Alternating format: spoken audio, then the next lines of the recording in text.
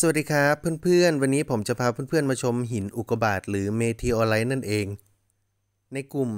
museum meteorite หรือพิพิธภัณฑ์อุกกาบาตจะเป็นกลุ่มที่มีนักสะสมอุกกาบาตจากทั่วโลกมารวมกันอยู่ในกลุ่มนี้นะครับ และถ้าอุกกาบาตที่เพื่อนๆ มีอยู่เป็นทรงสามเหลี่ยมนะครับนะด้านหน้าเนี่ยละลายเป็นสามเหลี่ยม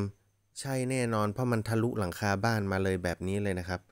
อะทีนี้ให้ดูก่อน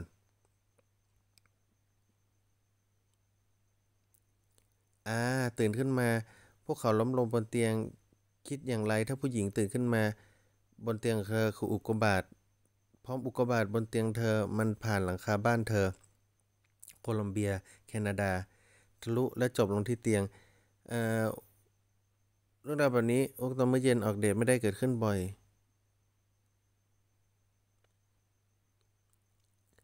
โอ้โห สุดยอดครับ กลางดึกรุนแรง เธอหลับ ตื่นขึ้นมาพร้อมกับสุนัขเธอเห่า เกิดระเบิดครั้งใหญ่เศษซากหล่นใส่หน้าฉัน หมอนหนึ่งในสองใบที่ฉันเคยนอนมีดาวตก อยู่ตรงกลางจุด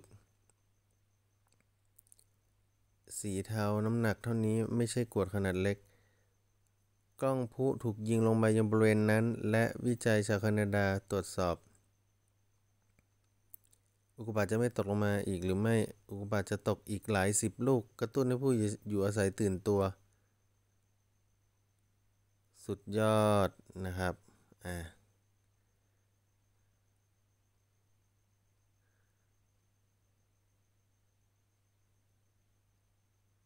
ดูกัน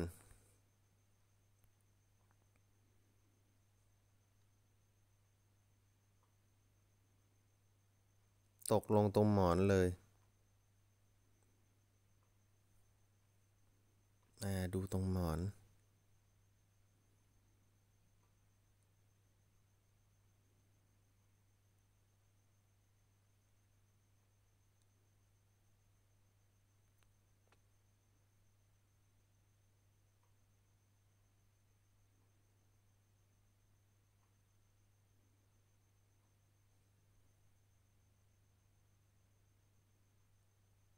ทรงสามเหลี่ยมดูง่ายนะครับ อุกกาบาตแท้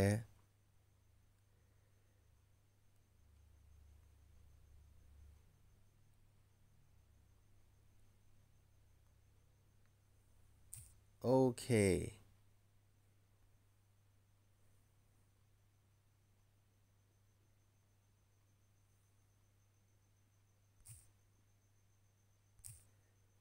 ขอบคุณครับ สวัสดีครับผม